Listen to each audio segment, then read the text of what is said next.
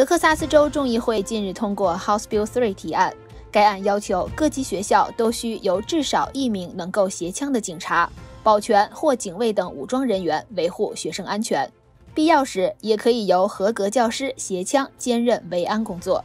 虽然共和党人认为该案已经构筑了校园安全机制，但民主党人觉得二十一岁以下都不得购买 AR-15 等半自动步枪才是解决之道。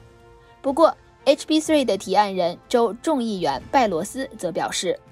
该案的重点就在提高校园安全，这个目标可以从增加武装人员达成。他说，草案也增加校方征询教职员携枪的意愿，因为就他亲自访谈所知，教师都很愿意保护学生。因此，现在的 HB3 版本，各校可以让教师携枪或是另聘武装人员。此外 HB Three 还要求每间教室都安装静音报警按钮，但经费比出估的三亿美元暴增至十六亿美元。